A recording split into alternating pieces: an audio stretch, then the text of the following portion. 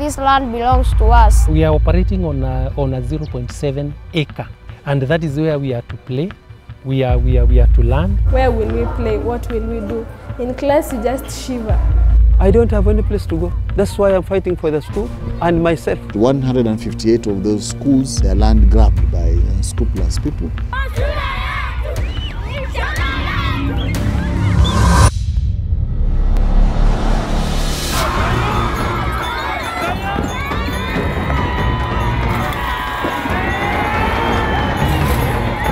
This school stands to be dissolved. Hawa watu ya radi ndio wanapindua hii mali.